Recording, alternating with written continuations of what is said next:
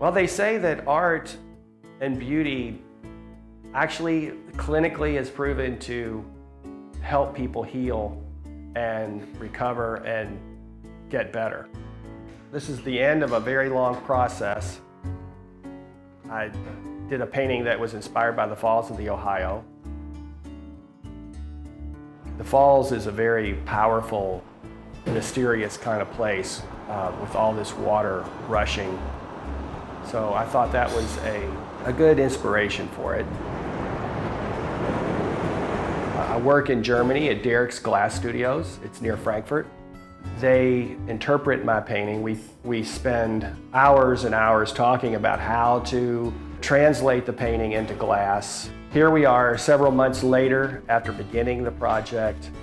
Then we start taking each piece out and putting it in the openings here.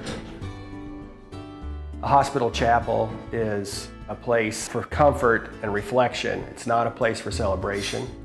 So I did not want to do something that was celebratory or very colorful. I wanted to do something that was quiet and reassuring and hopefully healing in nature. These prisms are hand ground, so they throw really intense, vivid rainbows. And, and there's something about a, a rainbow, of course, that is just so reassuring. It's, it's so hopeful, you know, when you see a rainbow, it's, it's like the sign from God that He's shining down on you.